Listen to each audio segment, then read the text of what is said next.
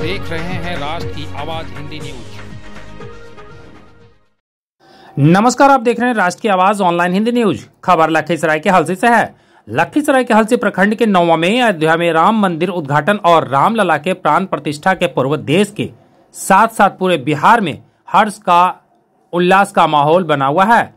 जगह जगह राम भक्तों द्वारा रामधुनी महायज्ञ, जुलूस, झांकी निकाला जा रहा है। इसी कड़ी में रविवार को नौवा में युवाओं ने जुलूस झांकी निकाला।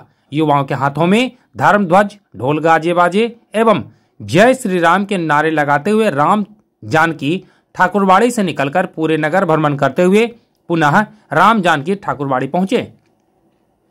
इसके बाद बहत्तर घंटे की रामधुनी महायज्ञ प्रारंभ कर दी गई। इस दौरान जय श्री राम के जयकारों में पूरा नौवा का वातावरण गुंजयमान हो गया।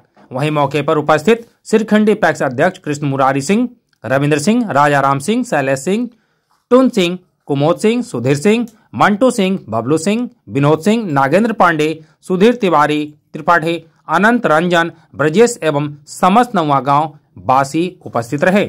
लखीसराय के हलसी से सुजीत कुमार संघ केशव कुमार की रिपोर्ट। बात हुआ क्या नाम हुआ? मेरा नाम शैलेंद्र सिंह है। ग्राम नौमा ये जो रामधुनी अखंड रामधुनी हो रहा है किस उपलक्ष्य में हो रहा है? क्या कहना है इस इस उपलक्ष्य के बारे में? तो पूरा विश्व जान रहा है। यह तो बहुत बड़ा महोत्सव है। जब हमारा सनातन का उदय होने को होता है तो प्रत्येक युग में मेरे सनातन को उदय करने के लिए लोग आते हैं। आज इसी सनातन का उदय है, जो अयोध्या में भगवान श्री रामचंद्र जी के जन्मभूमि पर भव्य मंदिर का निर्माण हो रहा है।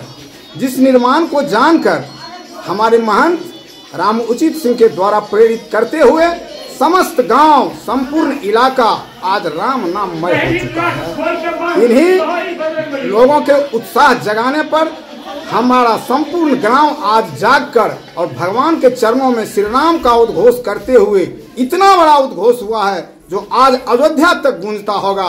इन्हीं चंद शब्दों के साथ मैं अपने वाणी को विराम देकर जय श्री राम।